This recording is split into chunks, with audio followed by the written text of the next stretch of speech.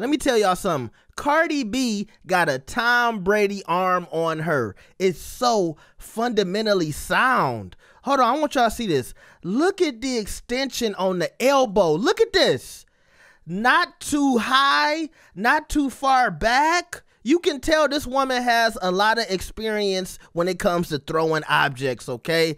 I can see her throwing a couple of high heels, stilettos, red bottoms, these bloody shoes, okay? A couple of bottles. I can see her throwing a bottle of Ace of Spades, 1800. I see that in her. And hell, I'll throw a wild card out there. I think she might have threw a couple of dildos before, all right? This was a really good throw.